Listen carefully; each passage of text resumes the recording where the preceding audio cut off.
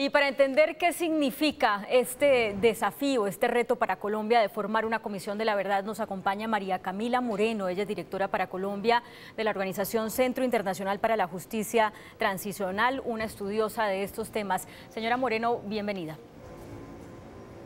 Muchas gracias, Claudia, por la invitación. Hemos oído en los últimos años los resultados de las comisiones de la verdad en Chile, en Brasil, en Perú, eh, pero al mismo tiempo oímos que las víctimas de esos países no quedan totalmente satisfechas y que los victimarios no, eh, por el hecho de existir una comisión de la verdad, no van a la cárcel. ¿Esto es lo mismo que pasaría en Colombia?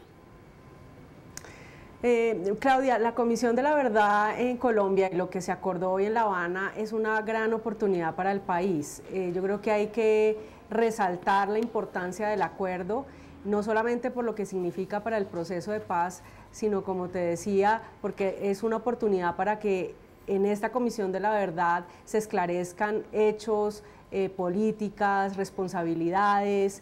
el mandato es un mandato amplio, pero es un mandato que deja un margen también importante para que la misma comisión en el desarrollo de su autonomía y su independencia, como lo dice el mandato, eh, pueda interpretar si se quiera y priorizar eh, para hacer su tarea. Vamos a tener, eh, por supuesto, unos retos enormes. Todavía falta que la mesa defina los otros mecanismos que hacen parte de la justicia transicional. El mismo acuerdo habla de un sistema de verdad, justicia y reparación. Eso supone que estos otros mecanismos, incluidos los de la justicia, tendrán algún tipo de articulación con esta Comisión de la Verdad. Creo que un mensaje importante es que... ¿Cuál es el mejor modelo? ¿Cuál es el mejor modelo que existe como para que tanto el país, la sociedad civil en general, como para que las víctimas puedan decir, vamos a tener cuánto porcentaje de verdad como pasó en qué país o cuánto porcentaje eh, de esto se puede utilizar en aplicación de justicia como pasó en qué país?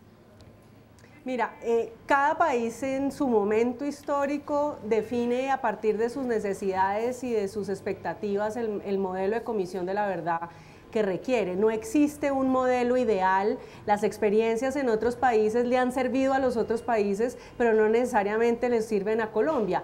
Cada país tiene que dar su propio debate y tiene que definir su propio modelo. Ahora, claro, hay lecciones aprendidas en el mundo. Mandatos muy ambiciosos suelen presentar retos enormes para su eh, implementación y su aplicación. Creo que un, tema que recoge el acuerdo que conocimos hoy muy importante es que se establece un mecanismo de seguimiento a las recomendaciones. En muchas comisiones de la verdad en el mundo esto no se hizo y después de la, del informe y de las recomendaciones no hubo ninguna instancia que siguiera eh, el desarrollo de las mismas y que pudiera establecer su cumplimiento o no. Eh, pues creo que esa es una, una lección aprendida que recoge eh, los negociadores de La Habana y creo que es muy oportuno y muy necesario pensar en qué pasa después de la entrega del informe de la Comisión. Bueno, pues hay muchos detalles por abordar en este desafío que se viene para Colombia. Esto es simplemente un abrebocas para que la ciudadanía empiece a entender lo que significa esta decisión, esta parte del acuerdo hoy en La Habana. María Camila Moreno, del Centro Internacional para la Justicia Transicional, muchas gracias por acompañarnos. Gracias a ti, Claudia.